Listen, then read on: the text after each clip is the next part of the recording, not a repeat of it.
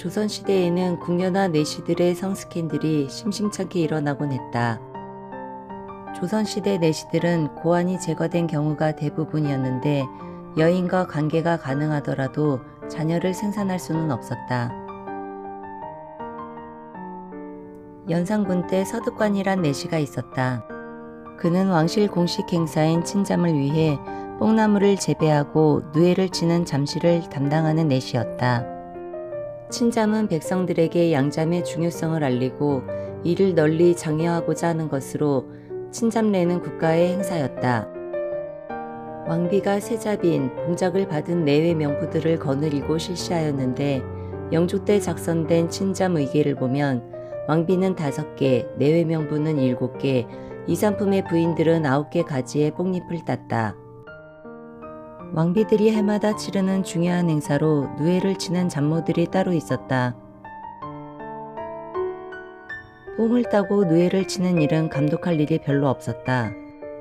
그런데 누에를 치는 잡모들 중에 서득관의 눈에 들어온 여인이 있었다. 일을 하면서 자연스레 가까워졌는데 그 여인은 남편을 둔 유부녀였다. 둘의 미래가 계속되자 잡모의 남편이 알게 되었고 남편이 사원부에 고발하면서 사건이 표면화되었다. 내시와 잡모가 어떻게 정을 통했는지 알 길이 없지만 실록에는 간통으로 기록이 되어 있다. 연산군 일기 5월 5일 내간 서득관이 잠시를 감독하다 잡모와 사통하였는데 그 남편이 사원부에 고소하여 특관이 재받게 되었다.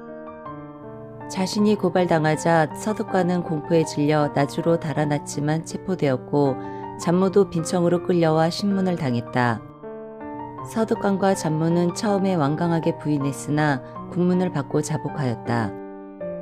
의금부에서는 서득관을 화관율로 처벌해야 한다고 아뢰었는데 연산군은 보통 사람이라면 화관율로 논지하는 것이 가하지만 내가는 궁중에 출입하니 그런 줄례로 죄를 주어서는 안 되니 다시 조율하라 명했다.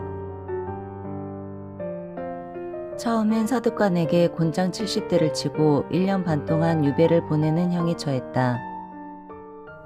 그런데 며칠 후 연산군은 궁에서 항상 조심하며 맡은 일을 해야 하는 직책인 내시가 여인과 정을 통한 것은 도저히 죄를 용서할 수 없다며 중한법으로 다스리라고 다시 명한다.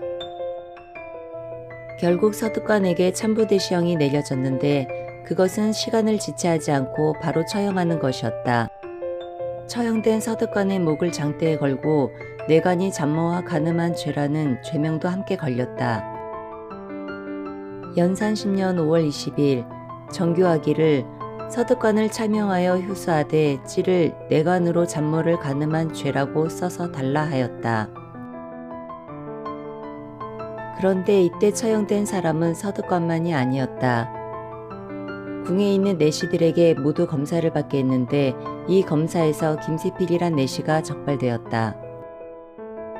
김세필은 음신이 아직 남았는데도 속이고 들어왔다 하여 그의 수양 동생 이세륜 및 수양 사촌, 수양 아비 최결 등을 모두 잡아다 국문하였다. 그리고 김세필과 수양 아비 최결은 바로 처형되었다.